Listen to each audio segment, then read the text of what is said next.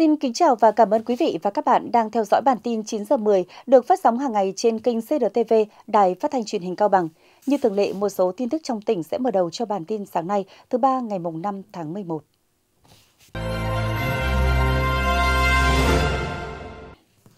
Chiều ngày 4 tháng 11, Bộ Công Thương tổ chức hội nghị trực tuyến phổ biến Nghị định số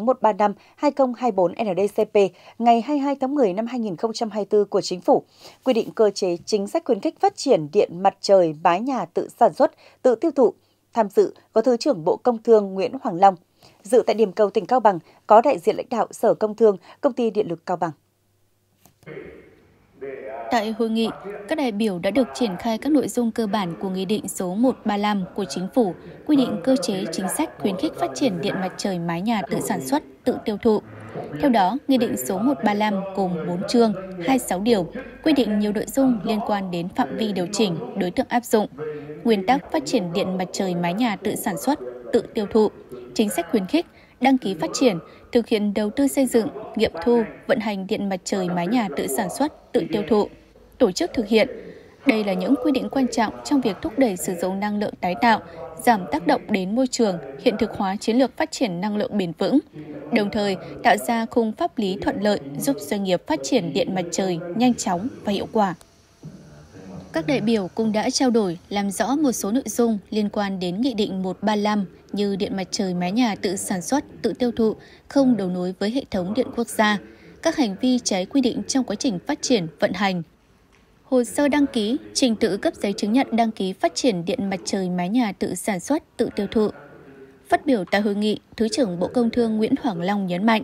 Nghị định 135 nhận được sự quan tâm đặc biệt của chính phủ. Nghị định được ban hành mở ra nhiều cơ hội mới cho việc phát triển hệ thống điện mặt trời mái nhà tự sản xuất, tự tiêu thụ, mang lại nhiều lợi ích thiết thực cho các tổ chức, cá nhân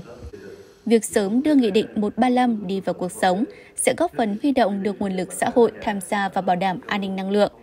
Đồng chí đề nghị, ngay sau hội nghị, các ngành địa phương liên quan tổ chức triển khai thực hiện Nghị định số 135 nhằm khai thác hiệu quả cơ chế chính sách, khuyến khích phát triển điện mặt trời, tự sản xuất, tự tiêu thụ, góp phần thúc đẩy kinh tế xã hội của địa phương.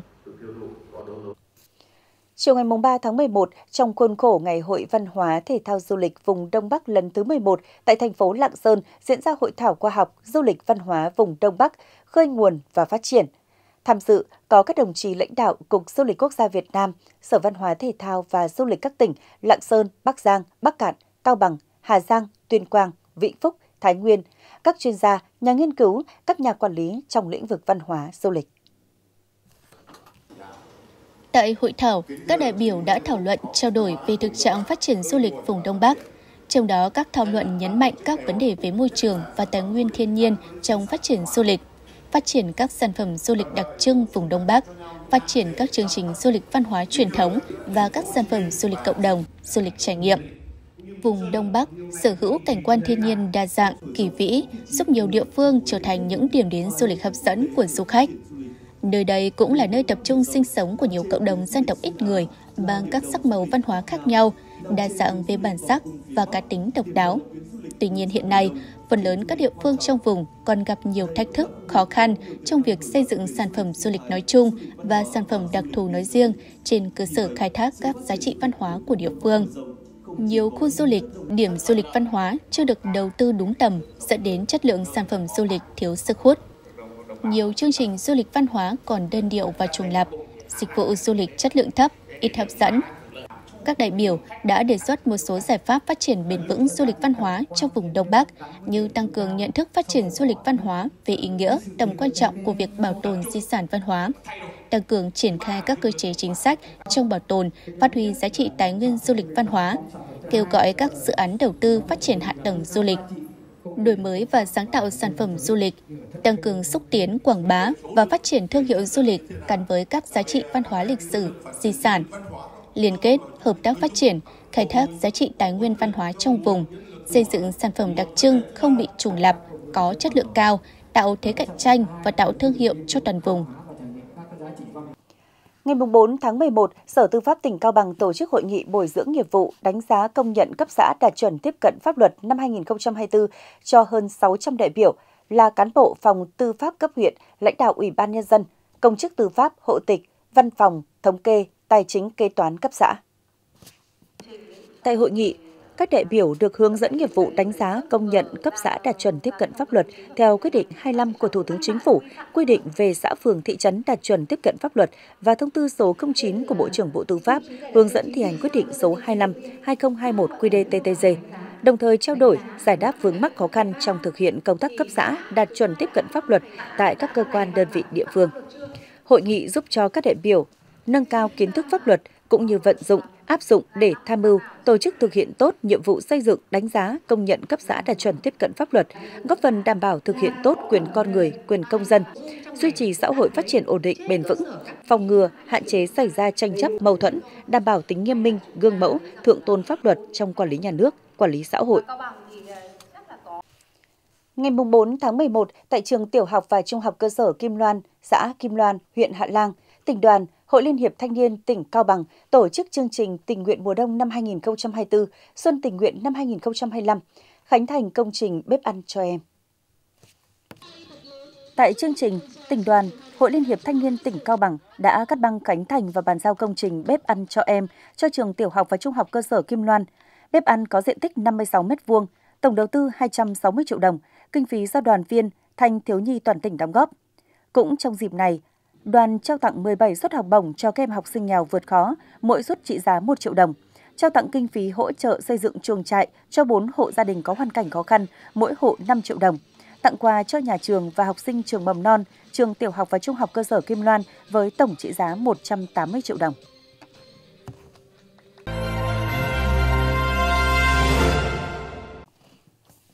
Tiếp theo sau đây sẽ là thông tin trong nước quốc tế. Với kết quả xuất khẩu gạo tích cực từ đầu năm, xuất khẩu gạo Việt Nam năm 2024 có thể đạt kỷ lục mới.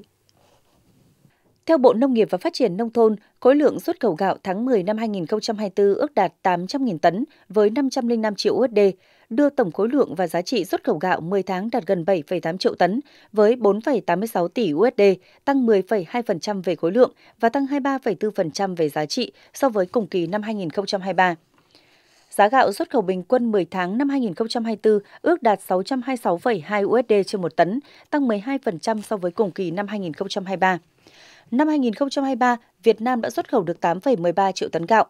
Với tốc độ xuất khẩu 10 tháng qua và khả năng sản xuất trong nước thì xuất khẩu gạo sẽ đạt trên 8 triệu tấn và sẽ vượt kỷ lục của 2023.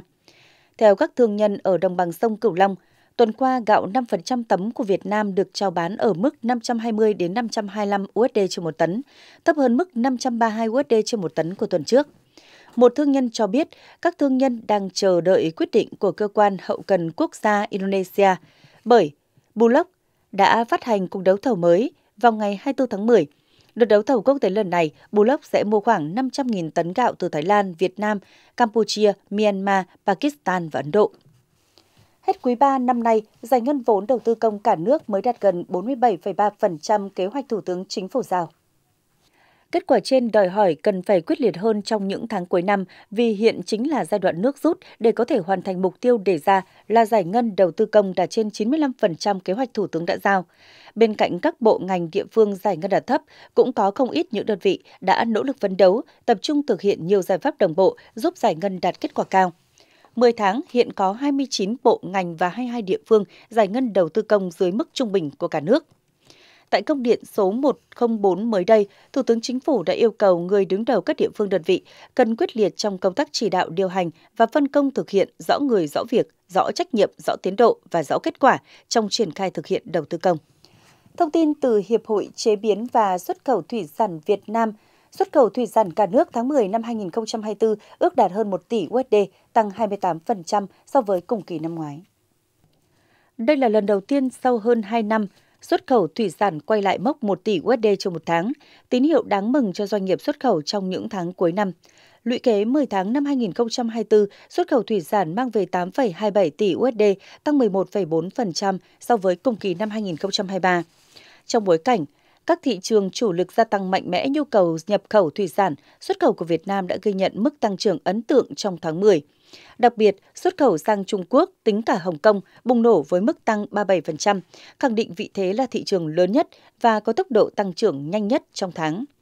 Các thị trường khác cũng không kém phần sôi động. Xuất khẩu sang Mỹ tăng 31%, Nhật Bản 22%, EU tăng 27%, trong khi Hàn Quốc tăng khiêm tốn hơn với 13%.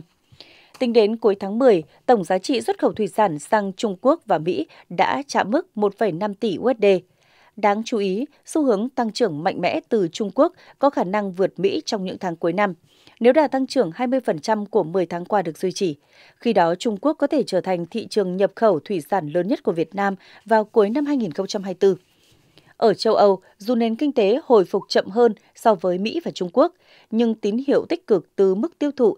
và giá nhập khẩu thủy sản đang dần hồi phục cho thấy triển vọng khả quan cho doanh nghiệp Việt Nam. Đến cuối tháng 10 năm 2024, xuất khẩu sang EU đã tăng 11% so với cùng kỳ năm ngoái.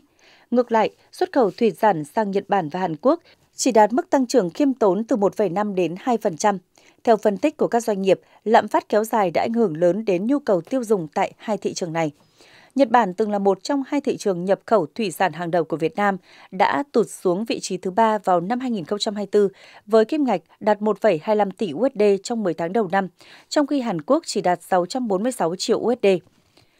Xét về mặt hàng, tôm và cá tra là hai sản phẩm có tiềm năng tăng trưởng lớn hơn trong năm 2024. Tính đến cuối tháng 10 năm 2024, xuất khẩu tôm đã đạt hơn 3,2 tỷ USD, tăng 13%, trong khi xuất khẩu cá tra thu về gần 1,7 tỷ USD, tăng 10%. Chỉ riêng trong tháng 10, xuất khẩu tôm và cá tra đã có sự bứt phá mạnh mẽ với mức tăng lần lượt là 26 và 24%, vượt xa cá ngừ và mực bạch tuộc các doanh nghiệp phải linh hoạt hơn trong việc sử dụng nguồn nguyên liệu dự trữ và các nguồn cung thay thế để tận dụng tối đa cơ hội trên thị trường. Tại Việt Nam, theo số liệu thống kê mới nhất, xe máy chiếm khoảng 93% tổng số phương tiện giao thông đường bộ. Tỷ lệ tai nạn giao thông liên quan đến xe máy chiếm khoảng 60% tổng số vụ tai nạn giao thông đường bộ. Điều này đòi hỏi phải có những giải pháp quyết liệt và toàn diện hơn để bảo vệ người đi xe máy, giảm thiểu thương vong và hậu quả từ các vụ tai nạn. Việt Nam là một quốc gia có tỷ lệ sở hữu và sử dụng xe máy cao. Đến thời điểm tháng 9 năm 2024 đã có 77 triệu xe máy đăng ký, đưa tỷ lệ sở hữu xe máy trên 1.000 dân tới 770 xe thuộc hàng cao nhất thế giới. Trong bối cảnh đặc thù về quy hoạch xây dựng và bất cập về hạ tầng giao thông, các lợi thế của xe máy như tốc độ khá cao, có khả năng chuyên trở, sự linh hoạt, thuận tiện, cơ động, tiện nghi, chi phí vận hành rẻ – càng được phát huy lên gấp bội khi được so sánh với các phương tiện vận tải khác. Xe máy vẫn tiếp tục gia tăng, thậm chí phần lớn các hộ gia đình có điều kiện sở hữu ô tô vẫn giữ xe máy để đáp ứng những mục tiêu nhất định trong cuộc sống. Nếu không hành động, thách thức ngày càng lớn, không chỉ là 60% số vụ tai nạn giao thông liên quan đến xe máy, mà có thể còn gia tăng cao hơn khi việc chấp hành pháp luật của người điều khiển mô tô xe máy không được cải thiện. Tốc độ gia tăng phương tiện này không hạn chế, để phòng ngừa xe máy gây tai nạn giao thông, lực lượng cảnh sát giao thông đã tập trung mở nhiều đợt cao điểm để xử lý. Tuy nhiên, cái chính vẫn là ý thức tham gia giao thông của người điều khiển xe máy cần được cải thiện hơn. Ngoài việc hoàn thiện hệ thống cung pháp lý, các chính sách phát triển phương tiện giao thông công cộng, hạn chế xe cá nhân, đầu tư cơ sở hạ tầng. Chuyển sang tin quốc tế, Nigeria đang phải đối mặt với một trong những cuộc khủng hoảng đói kém tồi tệ nhất với hơn 30 triệu người dự kiến sẽ bị mất an ninh lương thực vào năm 2025. Con số trên tăng hơn 30% so với năm 2024 do khó khăn về kinh tế. Theo một báo cáo chung của chính phủ Nigeria và Liên Hợp Quốc, khó khăn kinh tế đã trở nên tồi tệ hơn sau khi Tổng thống Nigeria Bola Tinubu bắt đầu các chính sách cải cách thắt lưng buộc bụng – bao gồm phá giá đồng Naira và chấm dứt trợ cấp xăng dầu kéo dài hàng thập kỷ, thúc đẩy lạm phát. Phân tích được tiến hành hai lần trên một năm tại 26 bang và thủ đô liên bang dự đoán rằng 33,1 triệu người ở Nigeria sẽ bị mất an ninh lương thực vào tháng 8 năm 2025.